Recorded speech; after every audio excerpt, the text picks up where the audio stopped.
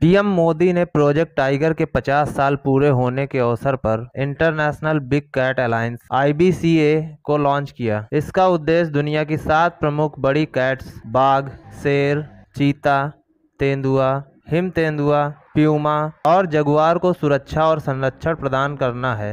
भारत में बाघों की संख्या वर्ष 2006 में 1411, 2010 में 1706 और 2014 में यह संख्या बढ़कर 2226 हो गई। वर्ष 2018 के जारी किए गए टाइगर सेंसर के तहत बाघों की संख्या दो हज़ार नौ सौ सड़सठ थी। 2022 तक बाघों की आबादी बढ़कर तीन हज़ार एक सौ सड़सठ हो गई है, जो पिछली बार जारी किए गए आंकड़ों से 200 अधिक है। पीएम ने इस आंकड़े पर खुशी व्यक्त करते हुए इसे देश के लिए गौरव का पल बताया।